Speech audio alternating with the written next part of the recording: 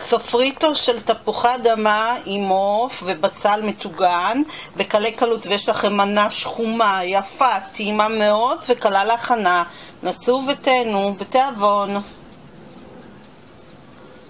אז כך, אני מחממת סיר גדול, שמה פנימה שמן קנולה קצת, משהו כמו כף.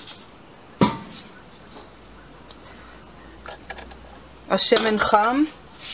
יש לי כאן עוף מפורק, שלם, שפירקתי.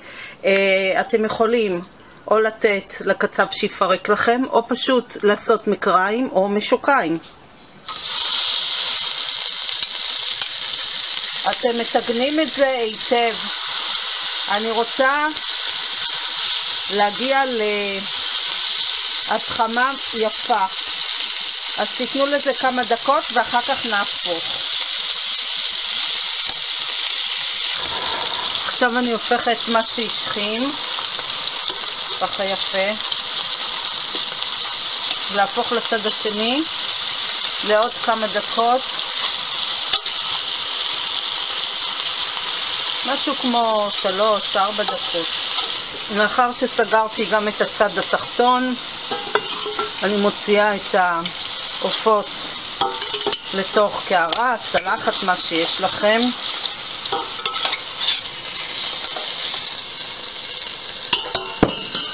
עכשיו קצת אה, שמן נשאר פה וזה טוב, אבל חסר לי, אז אני שמה שמן קנולה או חמניות, משהו כמו, תשימו כמו 2-3 אה, מילימטר. השמן חם אני טיפה שמה לו אה, קצת קורקום, טיפה שיהיה לו צבע. וקצת פפריקה מתוקה.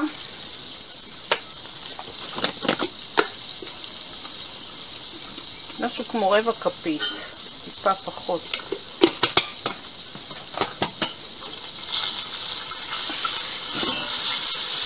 עכשיו אני חתכתי תפוחי אדמה, את ארבע תפוחי אדמה, ככה, אה, לעובי ככה של סנטימטר וחצי, שתיים. אתם יכולים פחות, עם תפוחי אדמה יותר קטנים, יותר גדולים.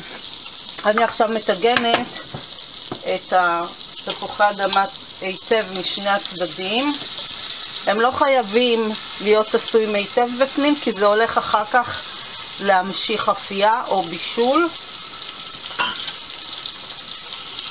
העיקר שהם יהיו ככה יפים, בצבע יפה. בינתיים תכינו גם בצלים, אפשר uh, משהו כמו 3-4 גדולים, 5 אפילו, לפי הטעם שלכם, ככה חתוכים uh, יחסית גס. מה שמטוגן ככה עם צבע יפה אני הופכת. אז להפוך ככה את כל התפוחי אדמה. מה שמוכן אני מוציאה לתוך צלחת או קערה, מה שיש לכם. וכך אני ממשיכה לשים את הנגלה הבאה. עכשיו הכנתי גם את הבצלים חתוכים גס, משהו כמו שלוש, ארבע, חמש בצלים גדולים לתוך השמן.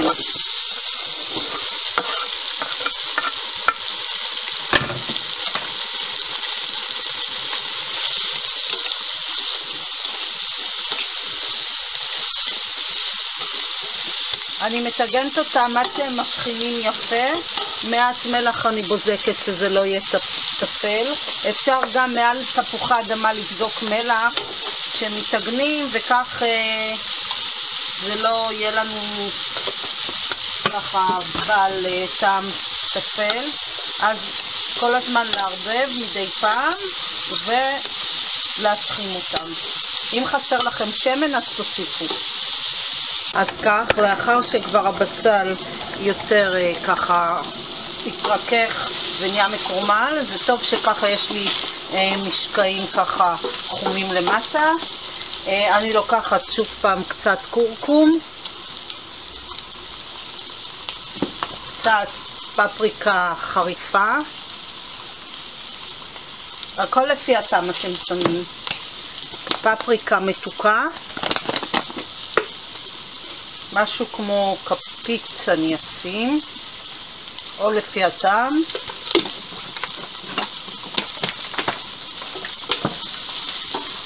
אני מערבבת את הכל.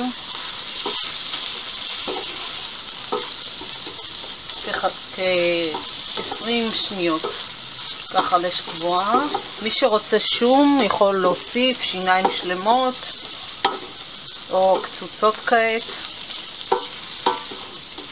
עכשיו אני מוסיפה מים חמים, רותחים.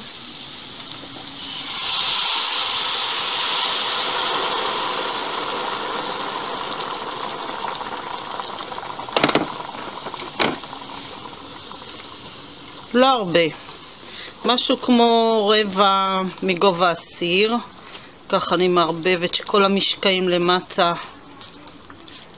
יצאו החוצה, ואני מוסיפה כמובן מלח, אני אוסיף כאן כמשהו כמו חצי כפית, או לפי הטעם אני אוסיף עוד טיפה,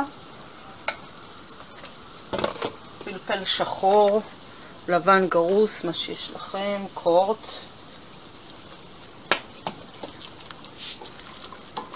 נערבב.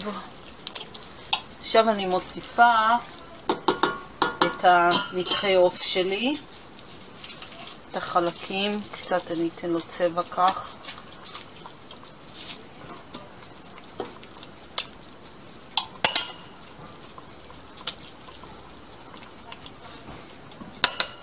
עכשיו יש אפשרות לבשל את העוף כך. על אש קטנה כשעה וחצי, שעתיים, או פשוט אני מכניסה את זה לתנור לאפייה של 140 מעלות במשך כשעתיים, ולאחר שעתיים או שעה וחצי אפילו. לאחר נגיד שעה וחצי אני מוציאה החוצה, מוציאה את המכסה ונותנת לזה אפייה של חצי שעה ללא המכסה. עכשיו אני מסדרת את התפוחי אדמה. אם שמתם מלח עליהם אז לא צריך, אם לא אז אני אוסיף עכשיו. לאחר שסידרתי את תפוחי אדמה, אני שמה מלח, אם לא שמתם ככה בטיגון שלהם, אז תוסיפו קצת עכשיו מלמעלה, שהם לא יהיו תפלים.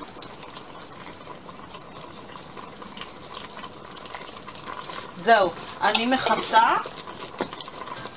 ואני לא מבשלת את זה כך על אש קטנה בגז, אלא אה, עם הסיר אני שמה בתוך התנור למשהו כמו, כמו שאמרתי, שעה אה, וחצי, אה, אפשר אחרי שעה להוציא ועוד חצי שעה לתת בלי המכסה, שזה יקבל ככה אה, צבע חום מלמעלה.